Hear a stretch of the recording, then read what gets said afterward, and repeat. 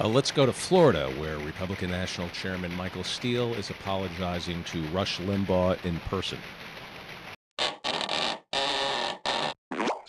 I'm here to apologize to the great leader whose voice and leadership I've always respected. I'm sorry. I know that in the past I've done wrong.